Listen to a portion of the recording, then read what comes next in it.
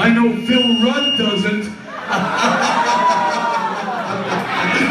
oh, fuck.